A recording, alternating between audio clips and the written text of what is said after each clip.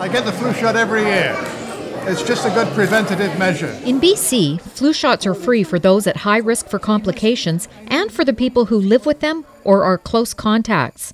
Those at high risk include kids under five, pregnant women, seniors, residents of group or care homes, Aboriginal people, people with chronic illnesses, including asthma, and people who are very obese.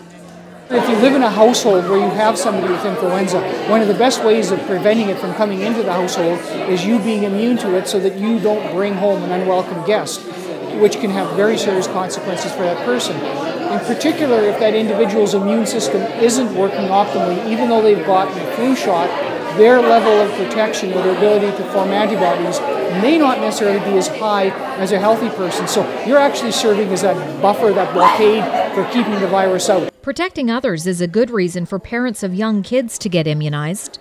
Parents, of course, because they're primary caregivers, um, they're eligible for vaccine too, and that's important because even if for them they, the influenza may not be a serious disease, they're obviously potentially can, can transmit it um, to their kids or vice versa. So we think it's important for families to get immunized as well. While the flu shot will protect you from the main flu viruses that are circulating this year, it can't protect you from every illness. You can help protect yourself by avoiding close contact with people who are sick. And if you do get sick, stay home from work, school, and even running errands so you don't infect other people. You should also cover your mouth when coughing or sneezing and wash your hands often with soap and water or alcohol based hand rub. Don't forget to clean and disinfect frequently touched surfaces at home, work, or school, especially when someone's sick. And you should get your flu shot as soon as you can to make sure you're protected when flu season hits. Find out where on our website.